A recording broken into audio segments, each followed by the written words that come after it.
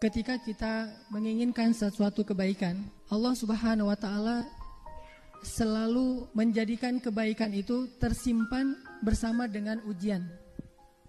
Allah Subhanahu wa taala membuat cara di mana setiap kebaikan, setiap kebahagiaan, setiap kesenangan itu Allah simpan di balik ujian. Itu selalu seperti itu.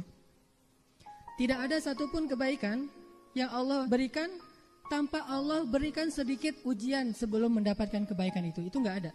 Jadi nggak ada kebaikan yang Allah berikan dengan cara bersenang-senang itu tidak ada. Dengan cara foya-foya, dengan cara have fun, dengan cara free. Allah tidak berikan kebaikan dengan cara itu. Kenapa? Karena kebaikan itu mahal dan sangat berharga. Allah juga menginginkan melihat siapa di antara hamba-hambanya yang serius untuk mencari kebaikan, siapa yang hanya berangan-angan. Dan Allah hanya memberikan kebaikan itu kepada orang-orang yang bersungguh-sungguh. Walladzina jahadu fina لنا